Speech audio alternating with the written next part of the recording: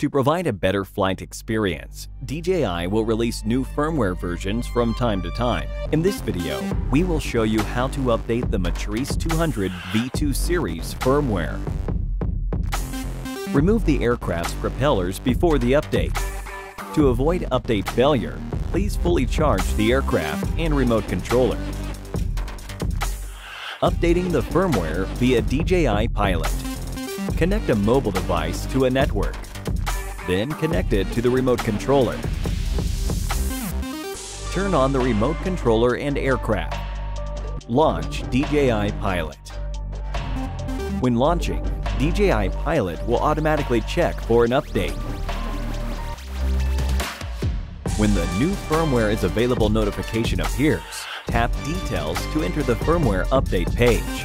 Tap Start Upgrading. Then the aircraft and remote controller will automatically start to update. Please wait until the app prompts finish.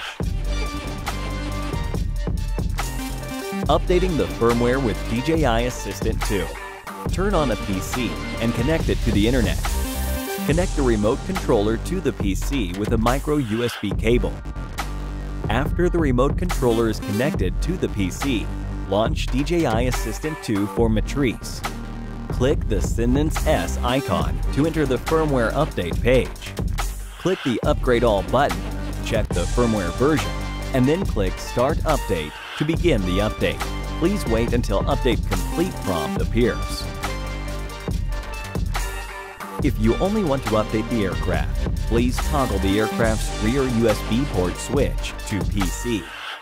Then, connect the aircraft to the PC with a USB-A cable and update the firmware with DJI Assistant 2.